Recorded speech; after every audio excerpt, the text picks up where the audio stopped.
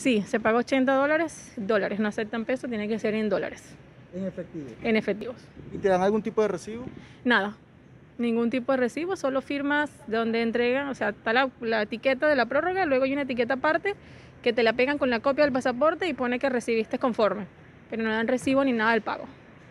Y en un país donde hay un sistema cambiario donde adquirir dólares legalmente no es para todo el mundo. Sí, no, ahorita es horrible, el- casi que nadie puede comprar dólares. El trámite una vez que te están entregando la prórroga es rápido, o sea, es entregar el pasaporte, entregar el pago, te pegan la calcomanía y listo. El, problema es esperar acá afuera. Y hoy además en medio de la lluvia. Sí, terrible.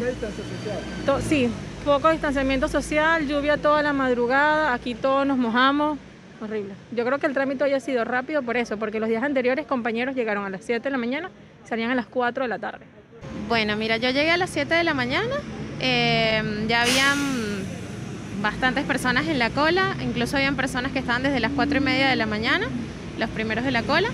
Eh, reparten solo 40 números para la entrega de prórroga y eh, pues mm, las personas que no alcancen esos 40 números eh, tienen que venir en el día siguiente que le toque de la semana siguiente, según la cédula.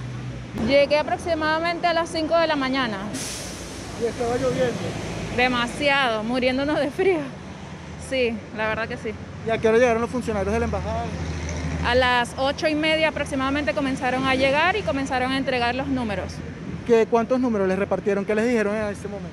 Entregaron 40 números a las personas que venían a retirar la prórroga y nada, después a eso de las 10 de la mañana comenzaron a pasar eh, para la entrega.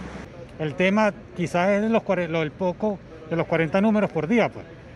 En verdad me parece muy poco para la cantidad de documentos que deben haber aquí desde el año pasado. Deberían agilizarlo más, dar más números, entender la cantidad de personas quizás en un horario normal.